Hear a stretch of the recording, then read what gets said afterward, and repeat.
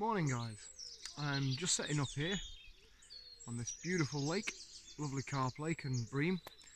And what I'm going to do is I'm actually going to show you how to plummet the depth for where you're going to fish, how to actually plummet your float so that you can fish the bottom accurately and correctly. Um, it's going to be a bit awkward because of course I've got this in my hand so you'll have to bear with me as I move back and forth and through the cycles okay so first thing I'm going to do is put you upright like that. And rest you down in here. There we go.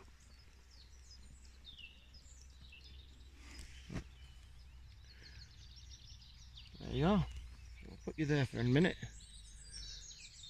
And what I'll show you is I bring this in.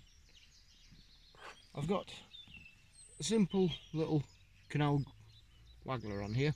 Yellow tip now it says it takes 2 BB I've got it locked in place with two little float stops two rubber float stops. There you are if you can see them.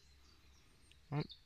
And all I've got the depth set at at the moment is that about a foot and a half. So what we do is you get your plummet right? Now bear in mind I've probably got the wrong hook length on for this but never mind. Put your hook through the eye of the plummet like that bring it through and then hook it into the cork bottom. Just like that. Right so your line is passing through it and hooked in like that. Right and all you want to do say I want to fish off this margin here right is drop it in and watch your float. Now if I drop that in there if you can see that I don't know but my float is disappearing so it's deeper than what I've got it set for so what you want to do. Bring it in and just keep going up the depth in a few inches at a time. So if you can see that's how much further I've moved it up. It's from there to there. So see the rubber stop there? To where the float is. To call it five inches. Move it up. Just try it again. Nope that is still under the water by about I'll look at it a good six inches or more. So we'll do it again. You go up a bit further. Again. Like that.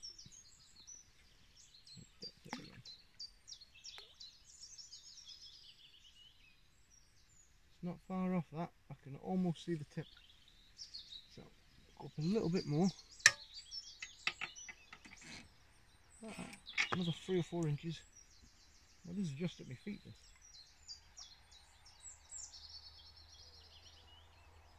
right.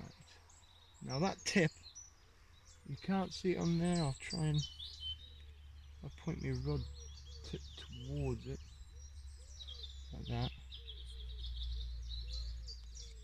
Move you down a bit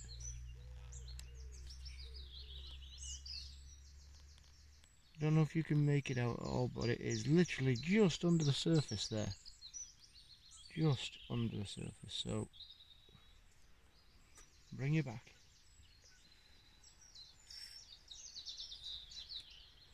What we'll do another few inches. Because when I fish on here and I'm fishing for the bream I like to be over depth. There we are that's over depth now by I'm going to say I'm over the depth there by about three inches, four inches. So come down another inch, like that. And there you go. You could just see the float there. It's just starting to cock. Just starting to cock upright. So that proves that I'm on the bottom and that my float's out of the water by a good two to three inches because you've got to think of the length of your float. So what we'll do, we'll come it down another inch just to show you how you can get it spot on. There's a nice fish just rose in. There you go. Now you see how my float's sat there now, you can see that. Proud as punch. And just showing, so that shows I am on the bottom nicely with a good inch or so of my float to spare. So if I was to fish now, where my hook is here, I would put a registration shot about three three inches from a hook, somewhere like that. and I'd probably put my float up by about another inch or so. But that is how easy it is to depth your swim. So you can see there, just at my feet. I mean, I don't know if you can see that. That's what? That's the length, that's from the top of my arm to my fingertips. So it's a fair old depth down there. That's just there at those tree line, that little bit. If I just do this in a minute, da, da, get you out of there. There you are. So that is how you get the depth of your swim with a plummet. All it is, like I say, no weight on your line because you don't want a false weight your float. You want your float to be flat when it's got nothing on it. Lock it in place with some rubbers if you want. You can lock it in place with some dust shot, but you don't want it to register with your float because you want all the weight of the plummet to be the registration so that you can get that float to cock up and sit down to the depth that you want it at. Therefore, you know that when you cast out, when that float hits that depth, when you've weighted all your float up correctly, that's how you're going to be sitting on the bottom. So, simple, eh, really. Plummeting the depth is one of the most basic things you can learn, and it'll catch you more fish because if you can start fishing at the right depth for the water you're at, for the right fish that you're after, you're onto a winner.